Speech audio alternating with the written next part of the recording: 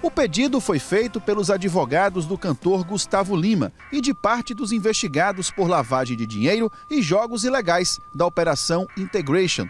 A decisão de manter o bloqueio dos bens foi da juíza Andréa Calado, da 12ª Vara do Tribunal de Justiça de Pernambuco. A juíza alega que a manutenção das restrições, incluindo o bloqueio de bens, se faz necessária diante da gravidade das circunstâncias das investigações, garantindo assim a proteção dos interesses da justiça. Também está proibida a ida de representantes da empresa Vai de Bet, que teria o cantor Gustavo Lima como um dos sócios, até Brasília. Outros investigados também pedem acesso às contas e bens que foram bloqueados. Tudo foi negado pela Justiça. A Operação Integration foi deflagrada no último dia 4 de setembro. 19 mandados de prisão foram expedidos. Entre as presas estavam a advogada e influenciadora digital Deolane Bezerra e a sua mãe, Solange Bezerra, detidas aqui no Recife.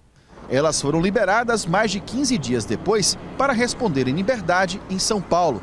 Representantes da empresa Esportes da Sorte estavam entre os investigados e presos. A justiça também pediu a prisão do cantor Gustavo Lima, que conseguiu um habeas corpus e também responde em liberdade às acusações de lavagem de dinheiro. A Operação Integration investiga um suposto esquema de jogos ilegais e ocultação de valores, que pode passar dos 2 bilhões de reais.